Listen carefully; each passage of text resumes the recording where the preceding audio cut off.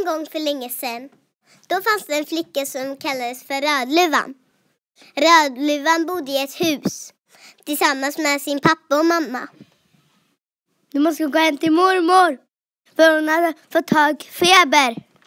Du måste gå och lämna en korg med mat och dricka. Kom ihåg att inte stanna och prata med någon. Hej då mamma! På väg till mormor så träffar Rödluvan en varg. Han hoppar fram plötsligt och skrämde Rödluvan. Vad gör du för något? Jag ska till mormor med mat och jag har väldigt bråttom. Vilken adress har hon? Hon bor på Sägengatan 9. Då är det bäst att du går nu och köper medicin till din mormor. Det finns en affär lite längre bort där. Rödluvan gick in i en affär och köpte medicin.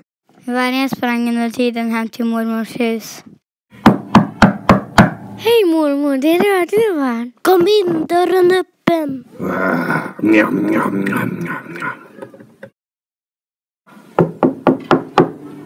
Kom igen mitt lilla barnbarn. Mormor, varför har du så stora öron? För att jag ska höra mig bättre. Mo- men mormor, varför har du så stora ögon? För att jag ska kunna se dig bättre.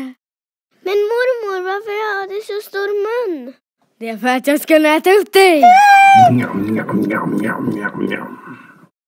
Rödluvans pappa och jägaren var ute och gick.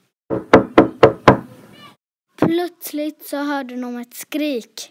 Rösten liknade Rödluvans. När ingen öppnade hos mormor bröt de upp dörren.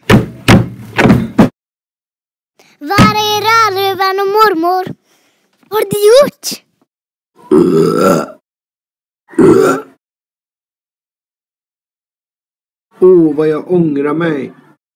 Det gör inget för denna gången. Men du måste lova att aldrig göra om detta igen. Det lovar jag. På kvällen hade de en stor fest. Sen levde de i alla sina dagar lyckliga.